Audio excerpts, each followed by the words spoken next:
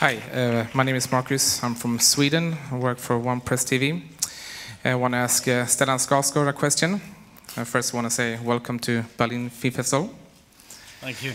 Uh, what caught, what uh, caught your interest, interest to being part of this movie? Well, I, I saw a script several years ago that wasn't very good, but I read the book, and the book was fantastic.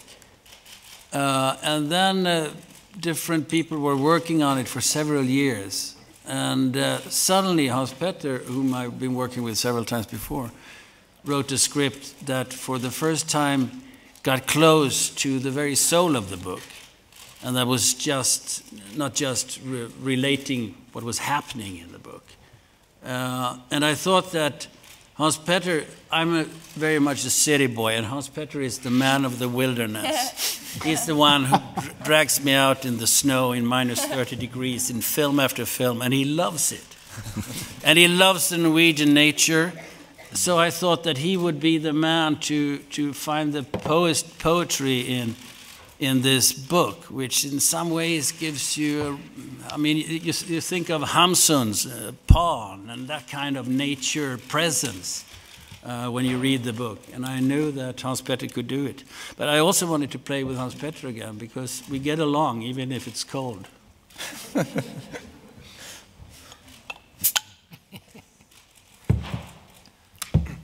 You yeah. see, I can also open a bottle without a bottle opener. Yeah. Did you bite it open or used your rectum? For most of the people who read this novel, I think the overwhelming quality, aside from the literary ones, is an atmosphere and a tone that just seeps into you, so you feel like you're part of a life that's true, that uh, encompasses some really deep and uh, profound uh, aspects of being a human being, and um, it's uh, in a way, an overwhelming and hard to decipher novel because it doesn't have an apparent uh, quick uh, storyline or plot to, uh, you know, be pitched or whatever. But it's uh, it's a fantastic experience to read it, and that's really what uh, was the ambition of when uh, transforming it into film.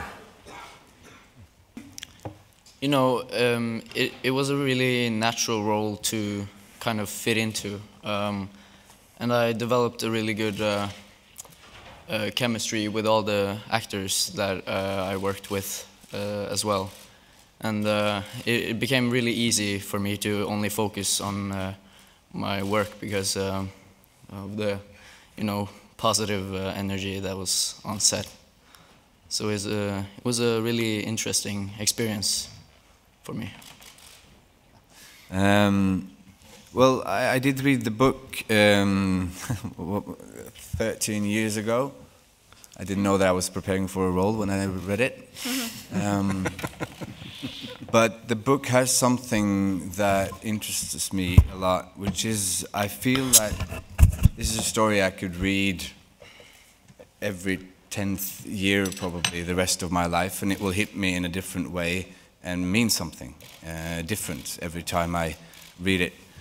Um, and I think that that is a little bit of what Hans Petter just talked about, how the editing of this movie also is. I feel that he has hit sort of that nerve um, to it. So I think this is also a movie that will, I can still watch it 10 years from now and probably it will mean something completely different and new to me. Um, preparing for the role is a the chemistry with with uh, Jon playing Trond, my son, of course, is a big part of it. Um, um, I don't have a son my own. Um, I do have a kid, but she's three, so a little bit smaller. Um, uh, it was it was important to have a good chemistry uh, with Jon, and also to um, to make both of us feel safe with each other without saying anything. Because that's sort of often the space where you just start talking. mm. And in this movie, there's a lot of just being there. Um, we had to be able to just sit and eat and look at each other for quite some time without ever feeling uh, unsecure, which I do when I have eye contact with people. Um, but uh, of course, these two um, didn't. Um, and it's it's it's we did um, a lot of the work was also just to be able to breathe in it. Um, usually, it's sort of a, uh, this is I've never been in a, in a production where I have to um, just be as much as in this one, and this, it was a very, uh, it's a new experience in many ways, and it's a, it was a pleasant surprise actually. Um, yeah, and of course it helps to have Stellan's voiceover, just sort of commenting on on your thoughts and on your life. I should every human being alive should sort of have that because That's a soundtrack. it becomes really rich. Everything. Everything means meaningful. something. Yes. Yeah, and for me, it was a great, great privilege to be uh, a part of this project. I'm uh, originally from Denmark, so uh, a lot of preparation was how to speak Norwegian with no accent.